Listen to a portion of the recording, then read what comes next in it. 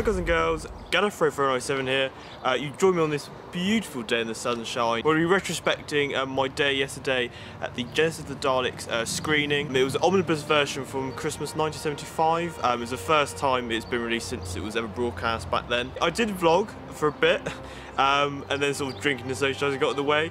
Uh, so I'm going to sort of be talking about the narrative and then sort of inserting clips of stuff I filmed um, just to give you sort of good picture of the day. So I had to get up, get a coach at like 7 o'clock in the morning, uh, travelled a few hours uh, to get to London, where I met Adam Northam at Whovian. We then got a tube uh, to the South Bank, where we filmed a little segment on the bridge.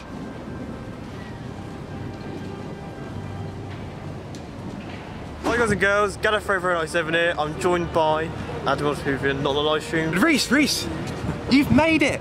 London 1965! I knew that was coming. I thought we were going to do it, we are going to do it. Got Semples over there, the Shard, all that great stuff. We are going to the BFI event, uh, the screening of Genesis of the the omnibus version. As you can see, Thomas with his scarf. Um, I've got my Jodie thing, a bit anti Tom Baker. I was going to bring my scarf, but I looked at the weather forecast for nah, that's alright. I see Big Ben in the distance. Under construction, but there is a Big Ben. Transmitter. Over there's a transmitter. There's a around. spaceship. Where's the Savine?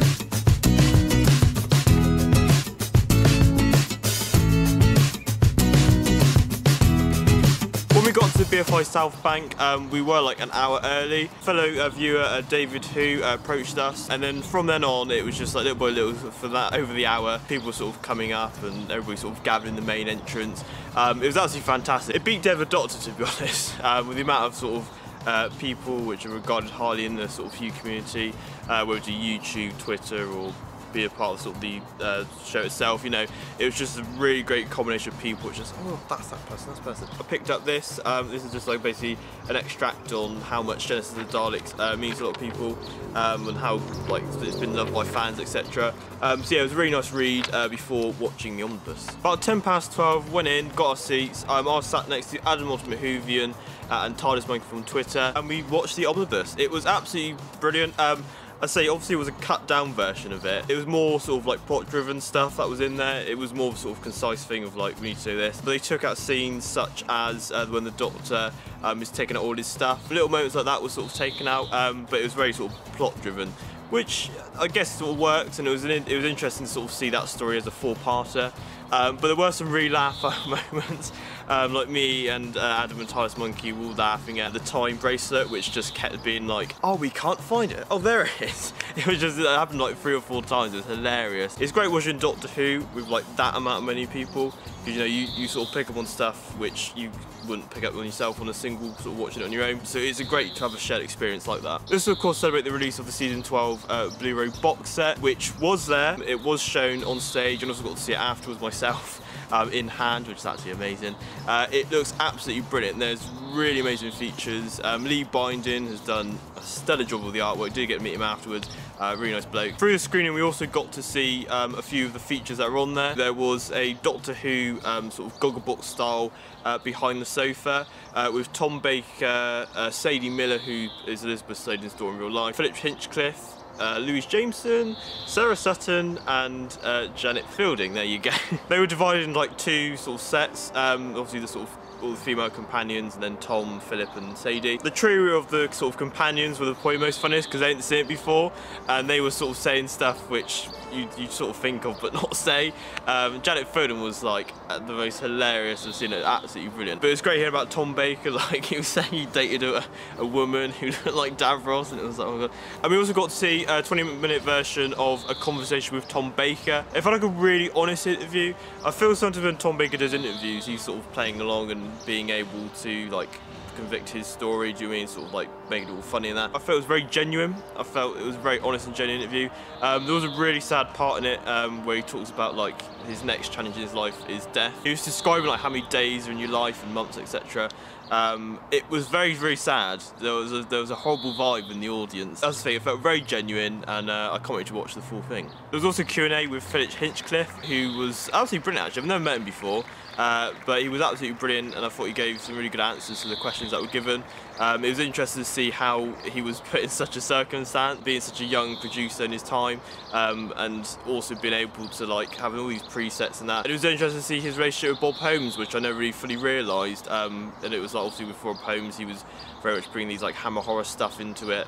Um, he was just simply said, I don't know, I don't watch this stuff, but go whatever, it was sort of work. So all of that was around under three hours, I'd say, just under three hours. After that, um, I know a few people waited around to meet Frank Skinner uh, and Philip Hinchcliffe, who sort of said he was not doing any autographs or anything like that. So, um, Frank Skinner stopped for a few people. After that, however, um, the last few hours I spent there um, was spent in the in the, the, pub area in the BFI South Bank. It was great socialising with like friends we established, like Geeks, Adam from Whovian, uh, Gary from the Big Box Podcast, Gallifrey and But it was great also to meet new people as well. You had Beth from Twitter, Elijah, uh, Frankie, and Lee Binding as well. It was just a real shame I had to leave like so early. Like I spent a good few hours there, um, but I felt like it was just like one of those things you just you socialise and just go on all night. I want to give a shout out actually to uh, Elijah, um, who decided that he had some spare Doctor Who uh, Target books. Uh, and literally just dumped them all out and said, anyone, just pick one and just, yeah, and everyone was just like, what? So I was looking at these books and I was thinking, I had a few drinks. I was like, oh my god, like this is amazing. So I was picking all these books out, and he was like, yeah, yeah, take one. And it was, I said, oh, do you want any money? And he's like, no, no, no. And it was just like a real kind gesture. Like that is um, the real love of the Whovian community. So I only picked up one book because I felt sort of like bad for not picking one up in a strange way. Uh, but I picked up the Nightmare Fair, um, which is uh, when it was meant to be the first story of uh, season 23 um, before it was like put on postponed and they had to make up Travel Time Lord. Sounds like a really cool concept, sort of like set in a fairground ride. Yeah, thank you Elijah for that. Uh, very much appreciated. After like saying goodbye to everybody, like I sort of said I'm leaving now. And then it sort of went on for like 10 minutes and said why everybody chant people. Then I had to like rush back, my coach was like at 7 um, and I somehow did it. Like literally, they were about to leave. Like they waited five minutes after the coach. I was literally just running like this. I just imagine in slow motion. Like, no. I tapped on the glass. I was just like, let me in, please.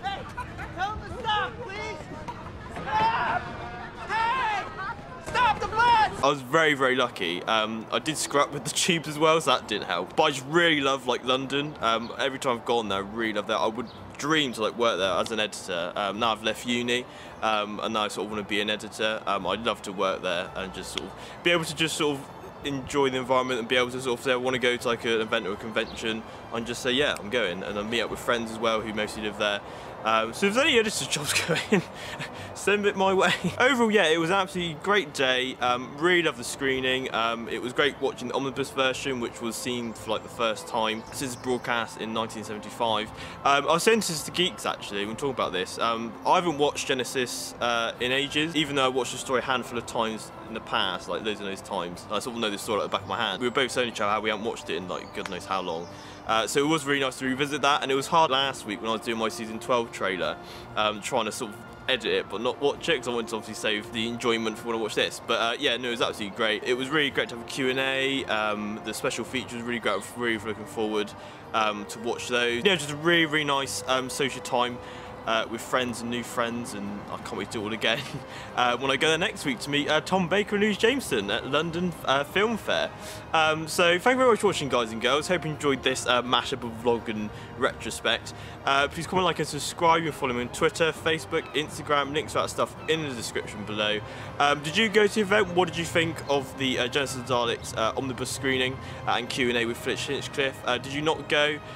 let me know all your thoughts about it in the comment section below. Next Saturday on the 30th of June, um, me and Billy are going to London, um, to London Film Fair to meet Tom Baker and I'm also meeting Louise Jameson. I've got a photo shoot uh, with the two and I'll be meeting up with all the various people from the same event again, so a bit like deja vu. So I'm really excited for that. So if you're going to that, let me know. I'd love to see you there. Um, feel free to come say hi. So thank you very much for watching guys and girls and I'll see you next time. Bye bye!